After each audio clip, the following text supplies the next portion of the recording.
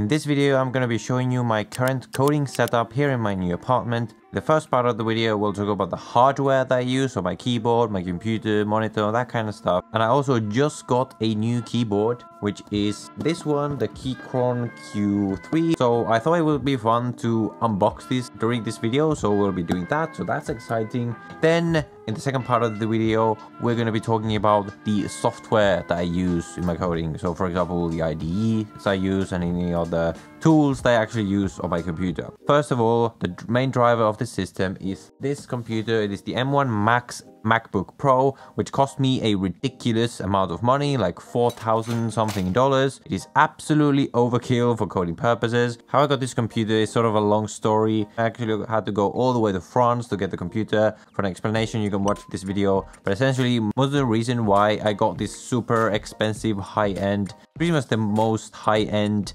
laptop that exists right now in the world. Is for my video editing purposes. That is mainly why i need the extra power. But obviously for coding and for everything else it's still a ridiculously amazing computer. So that's why i use. But to be clear you don't need this kind of power for coding purposes specifically. The computer i would recommend if you're specifically looking for a coding laptop is what i had previously this which is the m1 macbook air. The base model is completely fine. It runs for around a thousand dollars or something like that. But the one thing that is really nice for coding about this computer is the extra screen real estate. It is a 16 inch macbook and oh boy there is just so much more space in the screen. You can do so much more when you have that much more space in the screen. Uh, so that is the one thing that is really nice about this laptop for coding specifically Alongside it, I use this. It's a 1440p monitor. I don't even know which model it is. It really doesn't matter. It's just a, mm, the most basic 1440p monitor that you can get. I am going to be upgrading it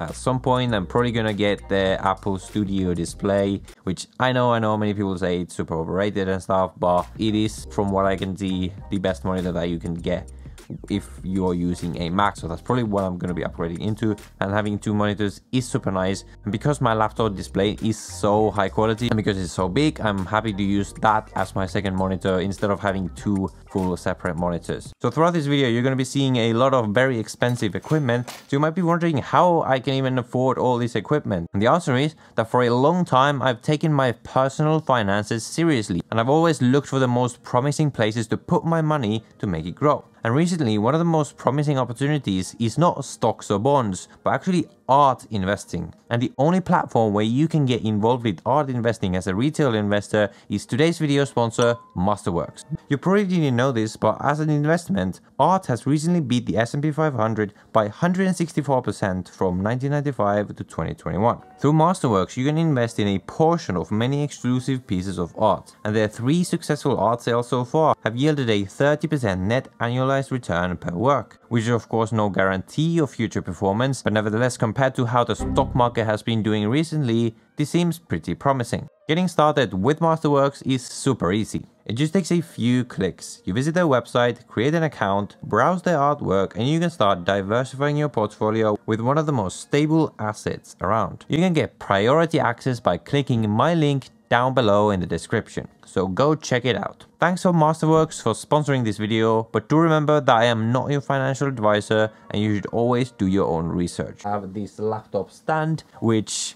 yeah, I was too lazy to check the names of all of these things, but it's going to be on the screen here. It's the one that you can order from the Apple website. Nothing too special about it. It just holds my laptop so that my laptop screen and my external monitor are sort of on the same height. And it also helps for airflow, even though there's really no issues with the heating with this super insanely powerful laptop anyway. But yeah, it helps with that as well. That's my mouse. I haven't changed anything from my previous setup video. It's the MX Master 2S, I believe. The same productivity mouse that you probably see in every single desk setup video ever. It's so ergonomic, it fits in your hand so perfectly. And you have this scroll wheel right here, which is really useful, especially when I'm editing videos or like scrolling on the timeline. And so yeah, an amazing mouse, not much to say about that. On my desk over here, you might be wondering why I have two phones. Well, why not? Uh, and for my phones, I have a charging stand right here, which also can act as a speaker.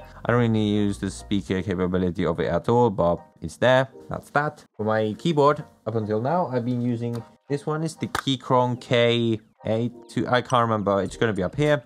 I was finding the format of this keyboard being relatively small like this but then at some point i started feeling like i might actually want a bigger one. So that is why i actually thought i might want to upgrade and it just so happens that keychron were nice enough to send their newest i don't know if this is their newest version but the q3 which is the one i was looking at anyway. This is not sponsored by them or anything. This video is sponsored by masterworks but they did send it to me Okay, it is unboxing time then. Well, so it's the Keychron Q3. I absolutely love Keychron's keyboard. I'm just a big fan of mechanical keyboards in general. I just love the sort of clicky sound of mechanical keyboards. Um, see. And by the way, in terms of keyboards, um, if you're looking to start coding and you wonder which keyboard you should get, I don't really think it matters. I know many people make videos about like, oh, best keyboards for programming, but like, I mean, this is keyboards, right? It just like choose the keyboard that you want. it's not uh, much more complicated than that. Think about whether you want a mechanical keyboard or a non-mechanical keyboard and sort of go from there. Then if you get a mechanical keyboard, the next question you want to ask is what type of switches you want to get.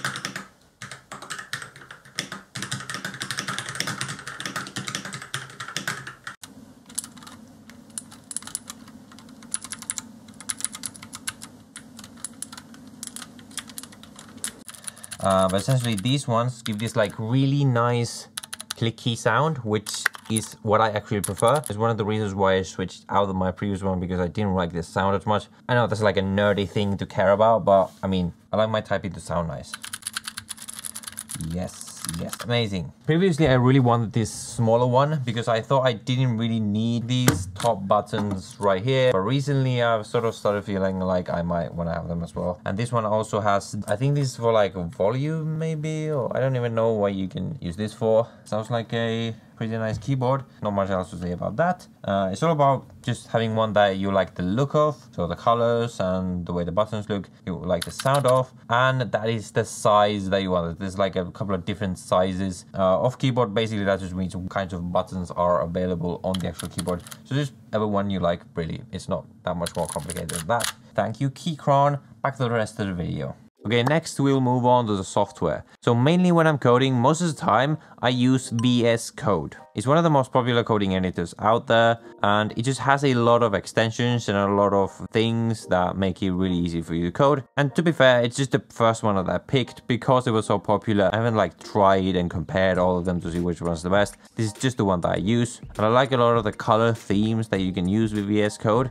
On my previous video about Python automation, a lot of people asked me which VS Code extension I'm using to get this cool blue color. And the theme is called Tomorrow Night Blue. The reason I like this cool blue effect because it makes me look like a hacker when I'm coding. And I just like blue as a color. So for most of my coding, I use VS Code, but there's a couple of languages that have better IDEs that are better suited to those languages. For example, recently I've been dabbling in getting into mobile development, specifically iOS development using Swift. And for pretty much all iOS development, the IDE that you should use is Xcode, which is Apple's own developer environment. I'm going to be making a separate video on how I'm learning mobile development, but essentially the course I'm doing is this one. It's called like the complete iOS development bootcamp or something like that on Udemy. There's going to be an affiliate link down below if you want to check it out. But there's going to be more videos on mobile development very soon. And the other thing I am doing currently is going through this algorithms textbook by Robert Sedgewick,